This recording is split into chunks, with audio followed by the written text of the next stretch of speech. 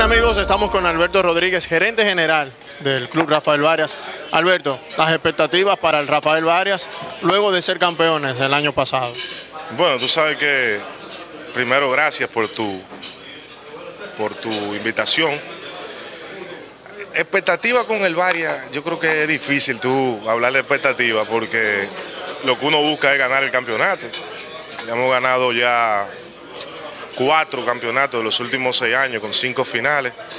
Eh, el mismo grupo, quizás con dos refuerzos diferentes, no vamos a tener el sub-25, eso quiere decir que el armador del Seibo, eh, eh Santana, no va a estar, porque entraría como refuerzo. Estamos tratando de repetir a París Bas y vamos a traer un jugador de la posición 4-5 que tiene experiencia en la Liga de España, el ACB. Debe de ser anunciado ahora, esta semana. Eh, el equipo está practicando al mediodía en las instalaciones del club con el dirigente del mismo, Joel Ramírez, que después que termine su compromiso en la serie regular con el SAMEJ en Santiago, se va a integrar al, equipo. Eh, la práctica la está llevando a Mauri Durán con Reinaldo Martínez y ya están todos los veteranos. Entre hoy y mañana, o entre mañana y pasado, se va a integrar Manuel Fortuna ya.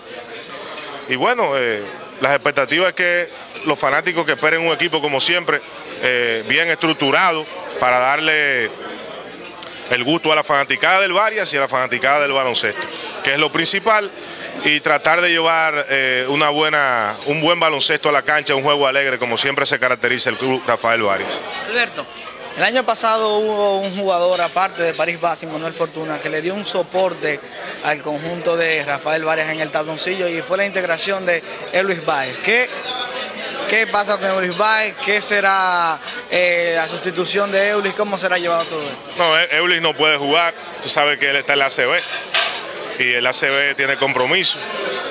Eh, choca el evento. Sabe que el evento este año en febrero por el tema electoral. Si el evento fuera en junio, quizá él pueda jugar, pero no puede jugar. Pero él es uno de los que me está recomendando importados.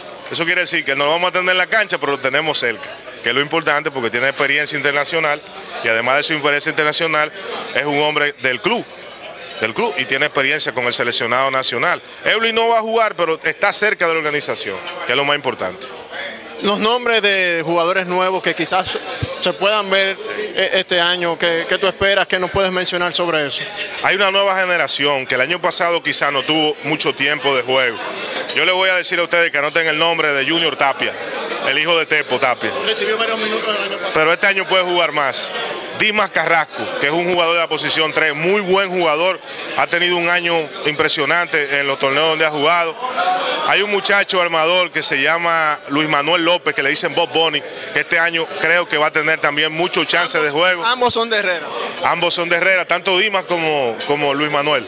Bueno, entonces ese grupito, hay un armador que es del barrio de Villaconsuelo, que se llama Brian Ortiz, que le dicen Brayotin que es tremendo. Puede ser una sensación. El plan es darle, darle juego a esa nueva generación, porque si no lo vemos, ¿cómo lo vamos a ver si pueden jugar? Y creo que ellos van a jugar mucho este año y los, los, eh, veteranos, el tiempo se le va a administrar, porque ya no son los mismos tiempos, ¿verdad?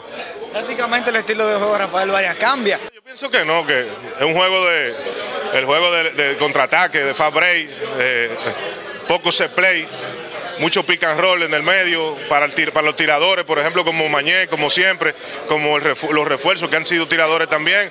Pero yo creo que además de ese tecnicismo baloncesto, es un tema de corazón y de que esos muchachos han jugado todo el tiempo juntos, lo ha dirigido uno que lo formó en un momento como fue a Mauri y ahora en este tramo como fue Joel. Eh, no es que juegan solo, como mucha gente piensa, hay que ponerle las piezas hay que bregar con muchas cosas que la gente no ve, pero creo que es un equipo que juega con mucho amor y por eso tiene éxito, es la verdad. Mencionabas el tema de París Bas, está jugando en Santiago. ¿Cuándo se pudiese integrar eh, durante el torneo? ¿Se va a integrar inmediatamente o, o será en medio del torneo? Mira, nosotros estamos en conversaciones con París. Él está en CDP, él tenía intención de jugar en Puerto Rico, pero el agente me dice que todavía no ha llegado a un acuerdo en Puerto Rico y que la primera opción es el Varias. Pero lo, que el público quiere, tiene que saber es que nosotros estamos haciendo un esfuerzo para que él esté el primer día. el primer día. Todo va a depender de su agente y de su situación para ir a Puerto Rico. Ya por último el mensaje a todos los fanáticos y amantes del baloncesto del distrito. Bueno, que vayan al Palacio de los Deportes. Yo le decía al presidente de la asociación hace unas reuniones que el segundo evento más importante de República Dominicana, después de la, de la pelota, es el torneo superior. Hay mucha gente que no lo entiende. Este torneo en la final promedió más de... Levanta celos. Bueno, podrá levantar celos, pero esa es la vida. Ese, ese torneo promedió más de 50 mil personas en una final. Eso hay que tomarlo en cuenta, además, y están los ratings, que no lo vendan como deben venderlo.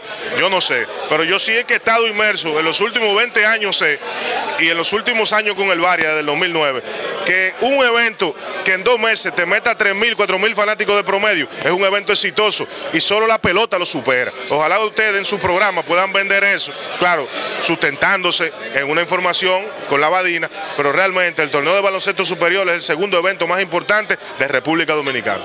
Ya escucharon Alberto Rodríguez, gerente general del Club Rafael Vares.